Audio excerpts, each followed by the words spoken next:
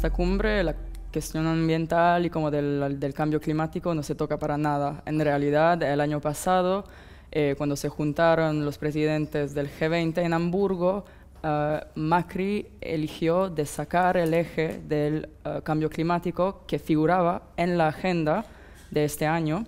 uh, porque justamente Trump salió de los acuerdos de París con sus políticas de America First. Los países del G20 son responsables por 75% de las emisiones de dióxido de carbono en la atmósfera. Entonces, son estos gobiernos, sus políticas y las compañías que apoyan, que son directamente responsables por la crisis socioambiental que tenemos ahora.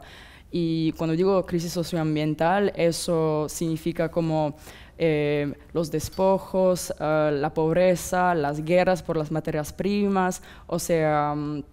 los refugiados ambientales, uh, la inseguridad alimentaria, el crecimiento del nivel del agua, o sea, todo lo que estamos enfrentando ahora como el cambio climático, son directamente responsables los gobiernos esto del G20.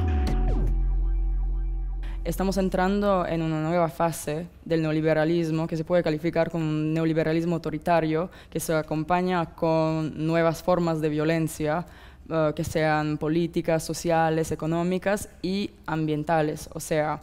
um, que hay una intensificación del extractivismo y de la explotación de los recursos naturales en el mundo entero. O sea, si dejamos, um, digamos, estos gobiernos del G20 dictar uh,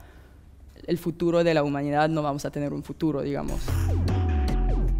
Las alternativas existen y están implementándose cada día a niveles, digamos, locales, pero tienen este poder catalítico, digamos, y transversal, y por eso a través del foro que estamos organizando mañana y el día 29, estamos tratando de poner esas alternativas juntas para ver cómo se podría articular una agenda común, por ejemplo, para el año que viene, y cómo vamos avanzando juntas y juntos y juntas hacia como un mundo mejor.